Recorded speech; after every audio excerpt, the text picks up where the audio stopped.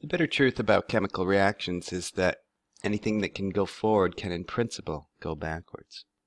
They are, in theory, reversible. It's easy, generally speaking, to control that reversibility, something that's not pointed out in most textbooks. But if A and B is turning into C and D, in theory, C and D can also go back to A and B, and oftentimes this presents a huge impediment towards getting a reaction to go to completion. Every time it forms that product, it reverses itself, giving you what most would consider to be a lousy yield for the reaction. So we use these double arrows to imply chemical equilibrium. If you see a forward arrow, it's supposed to mean in theory that there is no equilibrium chemical equilibriums occurs not when the reaction is stopped, but rather when the forward rate equals the reverse rate.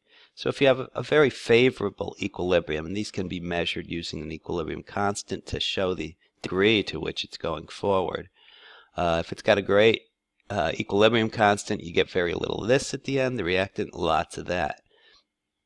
In either case, though, it gets to the point where uh, it's in an equilibrium between the forward rate and the reverse rate uh, um, occurring at the same pace, and therefore you achieve equilibrium. So, standard question uh, when the chemical reaction is over, does the reaction stop? No, it just gets to this point of equilibrium. The equilibrium is defined, as we pointed out in the last slide, as the concentration of products divided by exponent, divided by reactants in moles per liter where the coefficients are raised to their exponents. This is simply how it's defined, and this works to give a nice value for the equilibrium constant. Uh, if you plot the concentration of them over time, for example, it looks like this would be the reaction of nitrogen plus hydrogen to make ammonia. This is the Haber process for the synthesis of ammonia. Over time, the concentration of the reactants goes down, the concentration of the products goes up. But notice that neither of them is um, gone. We end up with a little bit of each, and we have and once this flattens out in terms of concentration over time, you've achieved your achieved your equilibrium. And unless you do something external, which you probably should, uh, the reaction has stopped.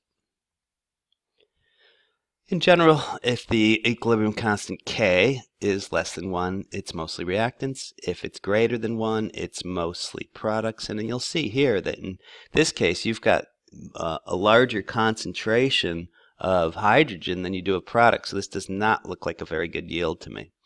Uh, and if it's mostly greater than one, you got mostly products.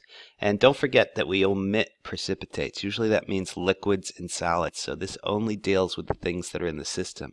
And that's the big hint, obviously, for how to get a re reaction to go to completion is simply remove the product as it's formed. So if you can get some of this stuff to kick out a solution, it'll then push the reaction forward and it'll keep going. Uh, but that's a little bit about the bitter truth of chemical reactions, let's continue a little bit.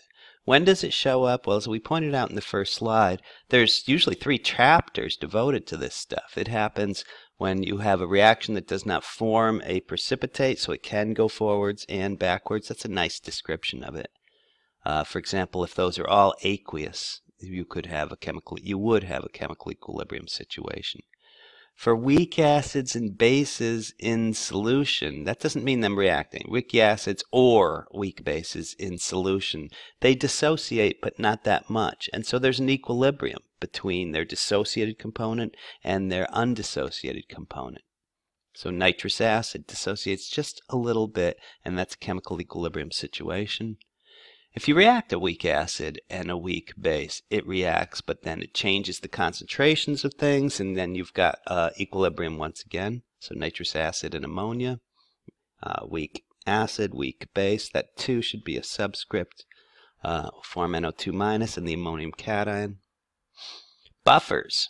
That is a acid and its conjugate base. So if you have acetic acid uh, it simply exists in equilibrium with CO, uh, acetate anion, NH+. plus. Normally, uh, this stuff, therefore, uh, will resist a change in pH if you have a solution that contains both acetic acid and the acetate anion, which you can, you know, prepare. You can have sodium acetate, for example. That's a buffer solution. We'll have more to say about that in the next chapter. And solubility. If you throw something that's weakly soluble in water, like lead sulfate, that should be a small b, or chalk or something like that, it will dissociate just like the weak acid did, but only a little bit, and therefore you have an equilibrium situation. Okay, we'll continue on the next uh, screencast with some fun facts about equilibrium.